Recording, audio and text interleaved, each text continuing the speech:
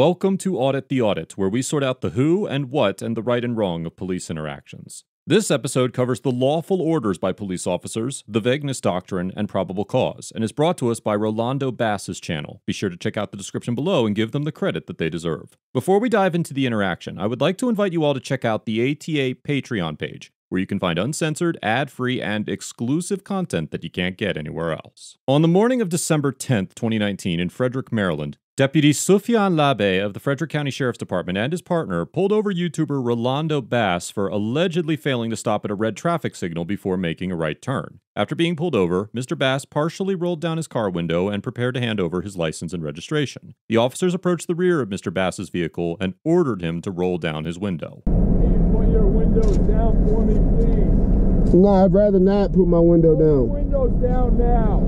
Uh, he yelling. Roll your windows down now. I refuse to put my window down.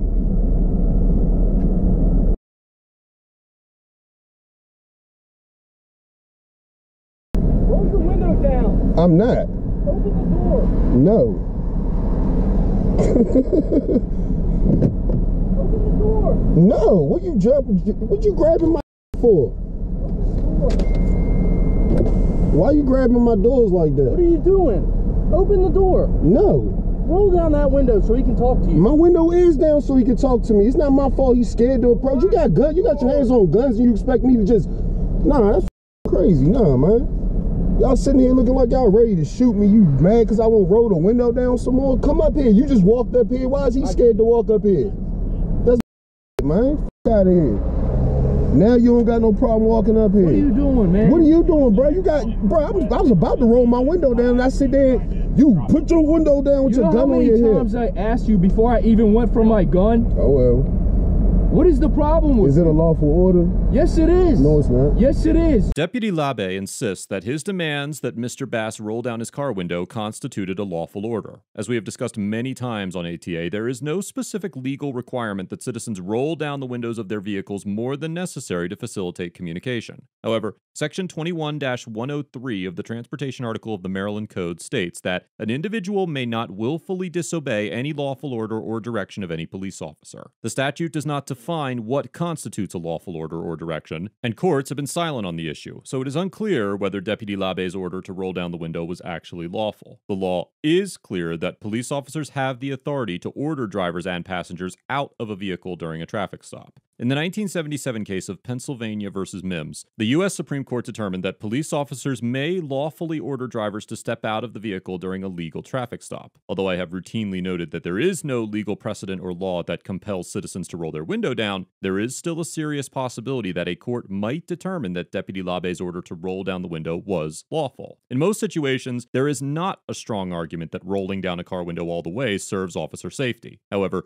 in this situation, the officers claimed they could not see inside the vehicle due to the window tint, which could be perceived as a threat to officer safety by a court. Because the intrusion of rolling down a window further is even more minimal than getting out of the vehicle, it is possible a court could decide that the order to roll down the window was lawful when weighed against the officer's safety concerns. No cases have challenged the legitimacy of such an order, and although there are no laws against such an act, that does not mean that a court would rule in favor of the citizen. The odds of a case making it to the Supreme Court based on whether the order to roll down a window is lawful are very low, and a decision like this would likely be left to lower courts to determine. Each court may reach vastly different conclusions based on a variety of factors, such as the historical rulings of the court, the local cultural differences, and the circumstances of the situation being challenged. Although it is highly unlikely that a court would uphold an arrest of a citizen for simply failing to roll their window down, these situations call into question the validity of the lawfulness of such an order. What lawful order is it? I'm it- giving you an order to roll your windows down. I And can't how is see that lawful? We cannot see in here.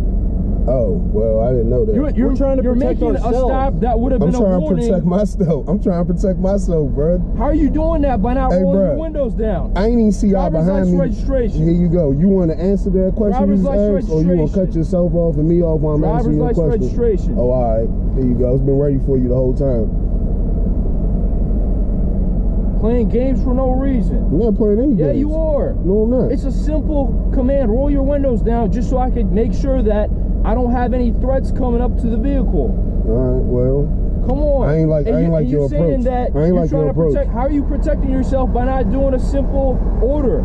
Bruh, I, I feel like I should have pulled off. Uh, that's a bad idea. Hey, hey, I don't give a if that keep me alive, bro. You putting your hands on your doing Bro, that? I had two men with guns at the back of my car telling me to roll my window down. Yeah. That makes perfect sense for me to just It do does, it. because I should have pulled see the car inside of the car. That's not my that's not my problem. It's not illegal All for me to have, have my a- window have up. good one. You a cop, you should know that.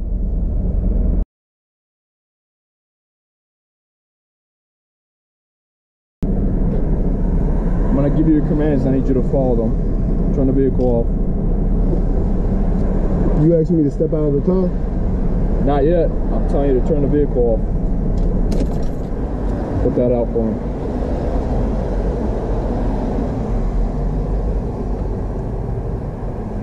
Is your door open? No, it's not. You need to do that for me right now. Are you pulling me out the car? Yes, sir. All right, cool. You should have said that in the first place. You talking to me like I'm three years old or something. Keep that rolling, but it's not gonna be in your hand. In the process of commanding Mr. Bass to step out of the vehicle, Deputy Labe orders Mr. Bass to put out his cigarette and to not keep his GoPro camera in his hand. As with the order to roll down the window, it is unclear whether these orders are lawful. The uncertainty regarding what constitutes an unlawful order is not unique to Maryland. In fact, even though most states have a statute that requires citizens to obey the lawful orders of police officers, state laws, federal regulations, and court decisions generally fail to provide definitions of what constitutes a lawful order during a traffic stop. The need to clarify the meaning of a lawful order received national attention in 2015 when a 28 year old African American woman named Sandra Bland was arrested after refusing to put out her cigarette at a Texas state trooper's request, which the trooper insisted was a lawful order. Ms. Bland died by apparent suicide in a jail cell three days later. Section 542.501 of the Texas Transportation Code states that an individual may not willfully fail or refuse to comply with a lawful order or direction of a police officer. As with the Maryland statute, the Texas law does not define what constitutes a lawful order. Because of the lack of certainty about the meaning of a lawful order, some criminal defendants have argued that similar statutes are unconstitutionally vague. As explained by the U.S. Supreme Court in the 2015 case of Johnson versus United States, the vagueness doctrine is based in the right to due process. The government violates due process when it takes away someone's life, liberty, or property under a criminal law so vague that it fails to give ordinary people fair notice of the conduct it punishes, or so standardless that it invites arbitrary enforcement. It would seem, given the confusion over what constitutes a lawful order, that these statutes would be unconstitutional under the vagueness doctrine. However, courts that have reviewed this issue have generally disagreed. For example, in the 2006 case of State versus Illig-Renn, the Oregon Supreme Court rejected an argument that Section 162.247 of the Oregon Revised Statutes, which criminalizes refusing to obey a lawful order by a peace officer, was unconstitutionally vague. The defendant argued that the statute failed to give fair warning because determining the lawfulness of the peace officer's order requires sophisticated legal analysis and depends on the factual circumstances and conduct giving rise to the order. The court disagreed,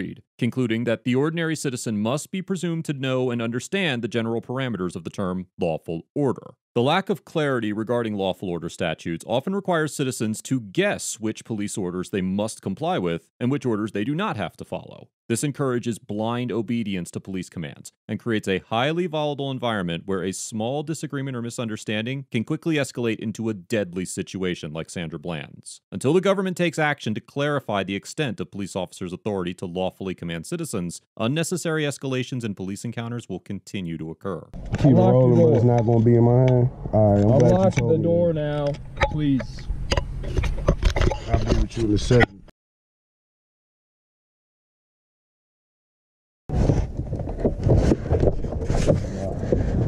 Airlock it. No. I'm giving you commands. I need you to listen to them. Are you clear? Yo, what's the commands, man? I got shit to do. What's up? Cool. Interlock your fingers behind your head. After extracting Mr. Bass from his vehicle, the deputies conduct a Terry frisk and order Mr. Bass to stand near their patrol car while they conduct a search of his vehicle. While waiting for the officers to finish their search, Mr. Bass engages in dialogue with a backup deputy who arrived late to the scene. Nah, well, when they way, way you weren't there with the way they approached my car. So uh, that's But that's I'm- what I- set the tone for me. I'm, this is my first interaction with That, you. that's cool. That's cool. But it's your first interaction after a reaction with your man. So Right. it is what it is. I'm And that's pissed what- off. that's- look, it, it is that's- what it is. I understand you you're- being real you're gonna me- respectful. my gonna bad. You me being out? real respectful and stuff like that. yeah. But I haven't done nothing illegal since this whole stop. Well- so I don't care if he feels a certain way and he's stepping it up. I haven't done nothing illegal. I don't answer questions. There That's my right. I didn't roll my window down. It's my right, and that's how I'm marijuana is not marijuana is not illegal. It's decriminalized in Maryland. I know you got Virginia tags. That's why I was asking you where you from, man. I don't got. You don't- I don't have. wanna- I you don't, it, it ain't nothing illegal in my car. I told you that. I you don't want to answer questions. I'm gonna, I'm gonna explain to you what's going on. Okay. So Maryland, marijuana is decriminalized. Anything under 10 grams is considered a civil citation. Anything over 10 is criminal. I'm very Okay, aware. So of you that. have you have odor of marijuana in your vehicle, so he's gonna find out. And that's why I asked you: Is there anything else in the car that we need to know about? But you didn't. You told me you didn't want to answer questions. Right? Mhm. The officers claim to smell an odor of marijuana in Mr. Bass's car and used the odor to justify a search of his vehicle. Although Maryland decriminalized the personal possession of fewer than 10 grams of marijuana in 2014, it is still a civil offense to possess an amount under that threshold. It also remains a crime to possess an amount over this threshold, possess any amount with the intent to distribute it, or drive while under the influence of marijuana. This partial decriminalization of marijuana has led to a series of decisions by the Court of Appeals of Maryland, which is the highest court in the state, that flesh out when police officers can use the odor of marijuana as a justification for a search, seizure, or arrest post decriminalization. For example, in the 2017 case of Robinson v. State, the court determined that a law enforcement officer has probable cause to search a vehicle based on an odor of marijuana emanating from the vehicle, reasoning that marijuana in any amount was still an illegal substance, and therefore the odor of marijuana gives rise to probable cause to believe that the vehicle contains contraband or evidence of a crime. However, in the 2020 case of Lewis versus State, the same court concluded that the mere odor of marijuana emanating from a person rather than a vehicle, without more,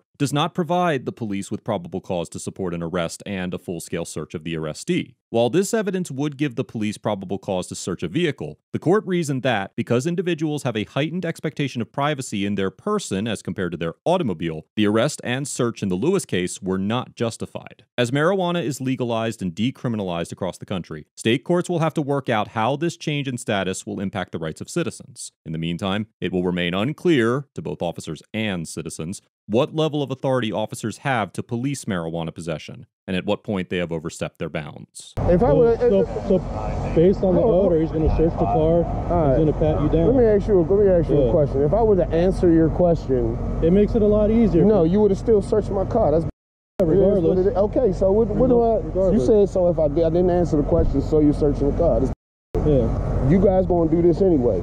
I'm gonna make you do your job. it's just fine. that simple. I'm not answering any questions, and, and that's fine. you- like I I appreciate thought- you like- being very professional while you dealing with me. But look, I- but other than that, the way he acting, I'm set off. So he stepped it up. I'm gonna step it up. After searching the vehicle, the officers do not find any illegal substances or weapons, and Deputy Labe returns to his patrol car to begin writing Mr. Bass a citation. After a brief debate about whether Mr. Bass can film Deputy Labe while he writes the citation, the deputy exits his patrol car to hand over the ticket. What you got for me? And what's your name?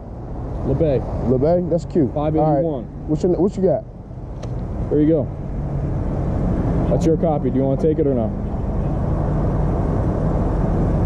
Do you Serious to to stop. Do you want to take this? Can you hold it still so I can read it? Because you ain't explained it to me, which is the professional way to do it. That's protocol. Oh, it's failure to stop it. Oh, let's do this. All right. Yep. Good luck Have proving nice that day. one. You have a good day. And you very much. After searching the vehicle and finding no marijuana, Officer Labe issued Mr. Bass a traffic citation for failure to stop at a red traffic signal and failure to stop at a red traffic signal before a right turn. The citation was filed in the Frederick County District Court the next day. Mr. Bass challenged the citation but was ultimately found guilty on February 18, 2020, and was assessed a $115.50 fine. Overall, Deputy Labe and the other Frederick County deputies get a B plus because although they remained within their authority throughout the encounter, Deputy Labe maintained a hostile and condescending attitude and failed to employ any measure of de-escalation even when Mr. Bass offered him the opportunity to do so. When the deputies explained to Mr. Bass that they could not see inside his vehicle because of his tint, Mr. Bass shifted his attitude and understood why the deputies were concerned. But Instead of capitalizing on the opportunity to de escalate, Deputy Labe continued to be rude and confrontational. The deputy's attitude only made this interaction more difficult by influencing Mr. Bass to be less cooperative. And as we have seen on many episodes of ATA, this type of behavior has the potential to escalate any interaction into an unnecessary physical altercation. The deputies carried out a legitimate search and never placed Mr. Bass into handcuffs, and nothing they did was outside the bounds of their authority. As mentioned before, it is debatable whether Deputy Labe's order to roll down the window was lawful. And given that there are no laws or court cases to draw any conclusions from, it is difficult to fault the deputies for issuing such an order. In situations where the citizen refuses to roll down their window, Officers are well within their authority to extract the citizen from the vehicle, and Deputy Labe could have employed the Mimms ruling more effectively, instead of using Mr. Bass's refusal to comply as a catalyst to escalation. Ultimately, Mr. Bass was allowed to go free with a relatively minor citation, but there is no doubt that Deputy Labe would benefit from additional de escalation and sensitivity training.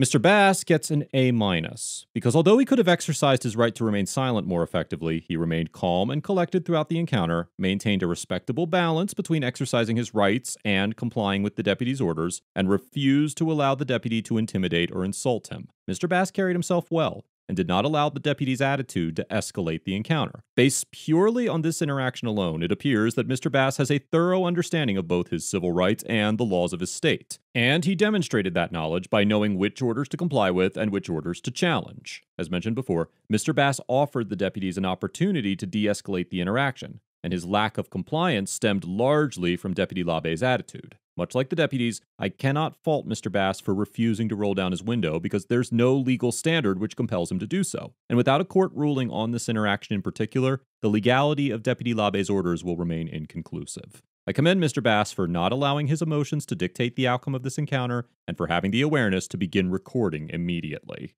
Let us know if there is an interaction or legal topic you would like us to discuss in the comments below. Thank you for watching, and don't forget to check out the ATA Patreon page for more police interaction content.